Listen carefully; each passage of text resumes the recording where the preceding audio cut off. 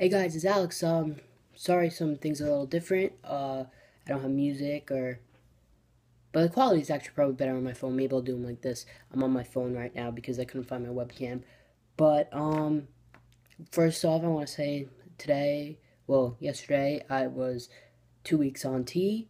Very excited. Um, a lot of hair growth. Uh, my arms, my legs, my stomach.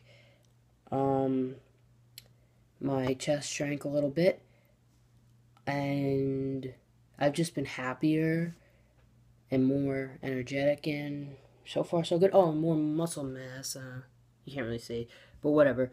Um, so today's topic, this week's topic is 10 things you didn't know about me. Uh, number one, I love hockey. I love everything about it. Um, huge Pittsburgh Penguins fan. I have Penguin stuff all over my room. Just got new stuff for the walls and stuff, so maybe I'll show you guys one day. Second thing, I love playing the bass clarinet in my school band. I'm not the best, but it's fun.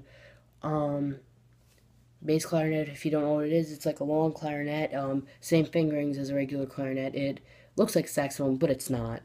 Um, third thing, I'm single, ready to mingle. Um, I'm into girls. You guys can hit me up. No, totally kidding. Um, fourth thing is uh, love watching TV, Netflix, just going through the shows. So my favorite shows are Futurama, Friends, and Shameless. Great shows. My favorite band is Sum 41. That's fifth thing on my list. My favorite food is sushi. I want to be a history teacher. I love history. I'm a huge history nerd.